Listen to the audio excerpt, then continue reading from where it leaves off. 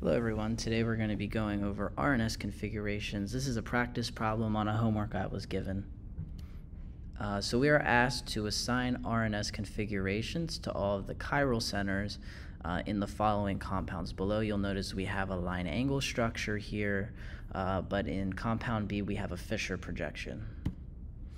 Uh, so step one for identifying, we're going with molecule A to start um, we have to identify the chiral centers. Well, let's look at all the carbons because we know that if we want to find the chiral centers, a chiral center is um, a part of the carbon chain that has four unique branches coming off of it, right?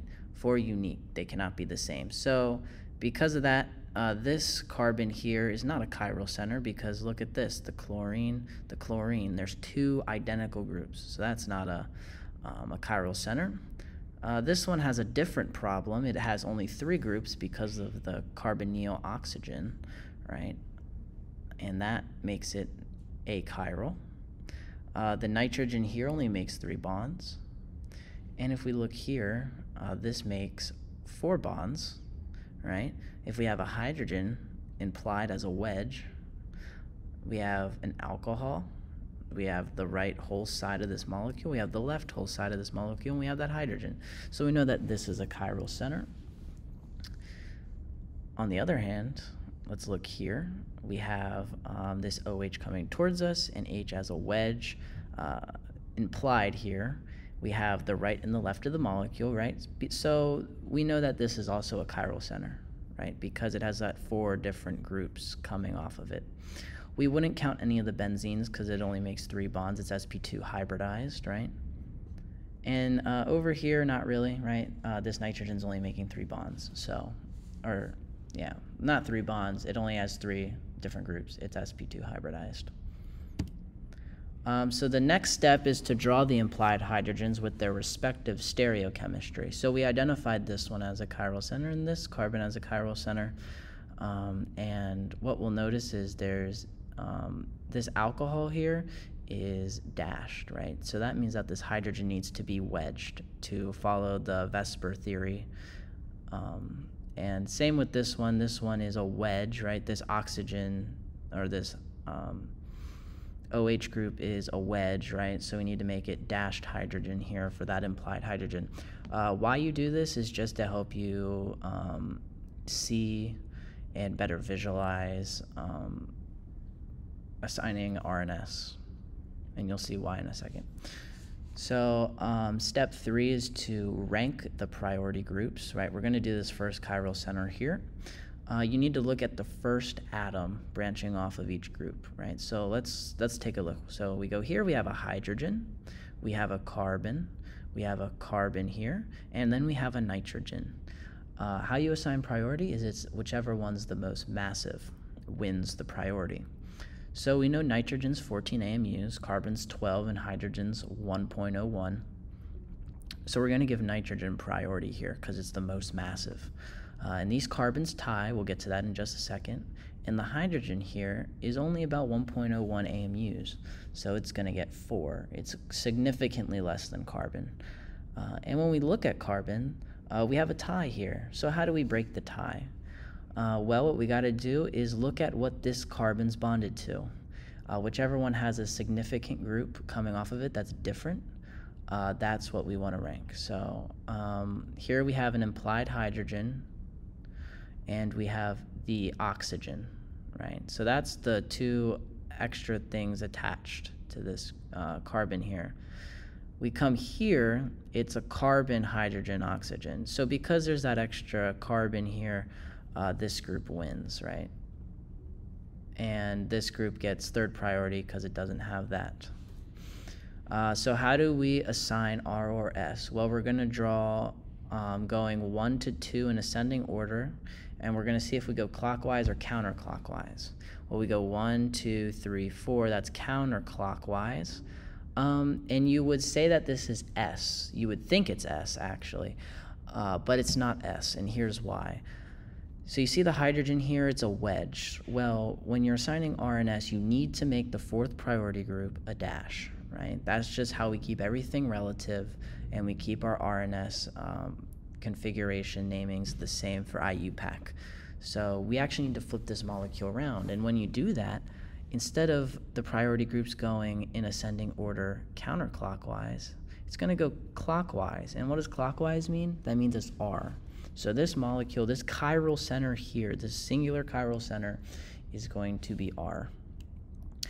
Doing the same with the next one, we know that oxygen is the most massive because we have carbon, carbon, hydrogen, right? So this um, oxygen, this OH group gets first priority, hydrogen gets four, and that will be the case most of the times. Hydrogen usually gets fourth priority because it's so small.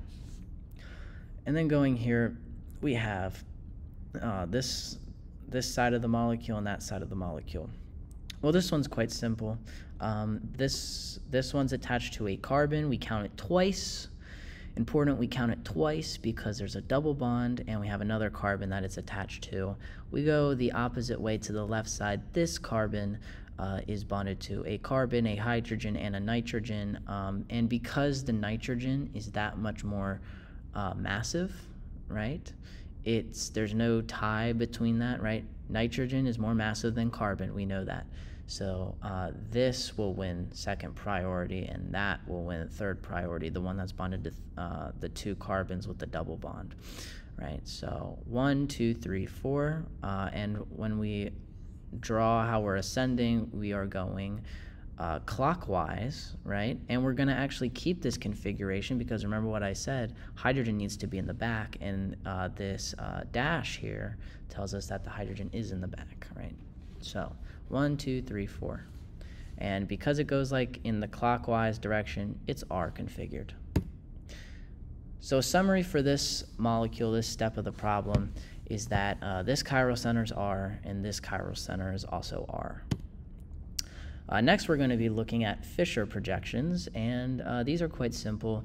Uh, anytime um, we want to identify the chiral centers, we just look at when the vertical line uh, intersects with the horizontal line. And we see it's right here, here, and here. So these are our three chiral centers. Next, we want to go one chiral center at a time and assign priority.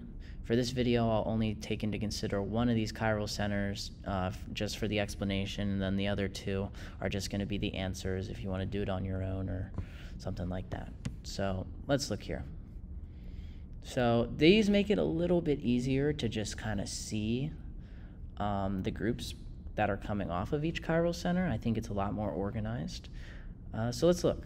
So we have bromine here. Bromine is about 100 something AMUs. Uh, 100 and a lot more, right? So this is definitely going to win. I mean, there's nothing else even in this molecule that is even close to bromine. Uh, let's look here. We have carbon, carbon, carbon. So we have a three-way tie. This is quite annoying. Um, well, something that sticks out to me is this section here, um, the aldehyde group that's coming off, right? We know that aldehydes are double bonded um, carbonyls with a hydrogen, right? And we know that this oxygen being double bonded, it's going to count twice. So ox there's two oxygens contributing to this thing's priority. Let's keep that in mind. Here we have carbon that's only bound to hydrogens. That's a bad sign. That says that, you know, it's not going to win the tiebreaker. We, we, we should just automatically assume it's not going to, so it's going to get four. Uh, we're going to go downwards now to this chiral center, um, and you'll see it's bound to a carbon, hydrogen, and oxygen. Well, this only has one oxygen contributing, while this chiral center has two. So because of that, because that uh, carbon is carbonyled, you could say, to the oxygen, it's going to win over this chiral center and it's going to get priority two. And as a result, uh, this one still beats this one, right? Because there's only hydrogens. This one has an oxygen. That makes it the, um, the more prioritized group. So uh, this one gets three and this one gets four. Now we must draw an arrow, uh, and we're going to do that.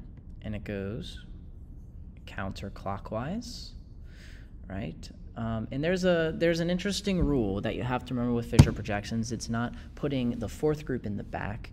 You have to understand that um, if the fourth group is in a horizontal position, do your normal thing of assigning R and S where you draw the arrow around, see which way it goes clockwise, counterclockwise.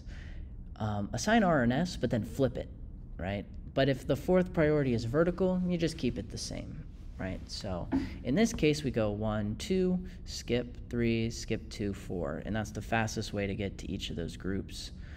Um, so, right, and if we go counterclockwise, that's S, it looks S, but remember, uh, that methyl group is in the horizontal position and it's priority 4 and therefore we have to flip it so instead of S it's actually R right so hopefully that was pretty thorough and hopefully you understand that and if we do the same to all the rest of these chiral centers we get R for this one right S and S I hope that helped you guys. Uh, I really enjoyed going through this problem, working it out. Uh, so, anyways, have a good one, guys.